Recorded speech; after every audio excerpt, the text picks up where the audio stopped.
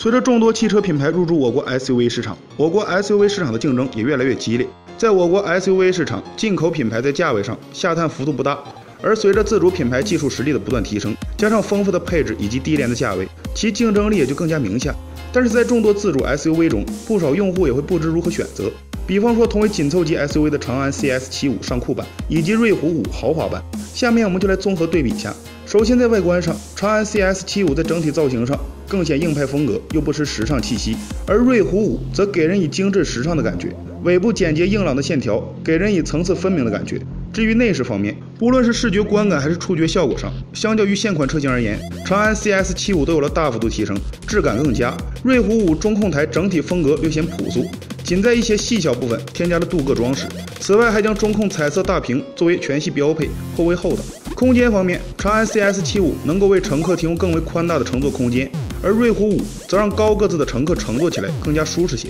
接下来我们来看看动力方面，长安 CS75 搭载了一台 1.5T 涡轮增压发动机，而输出功率以及扭矩分别为125千瓦、230牛米。传动系统方面，则搭载有了一台六档手动变速箱，瑞虎5也同样搭载了一台 1.5T 涡轮增压发动机，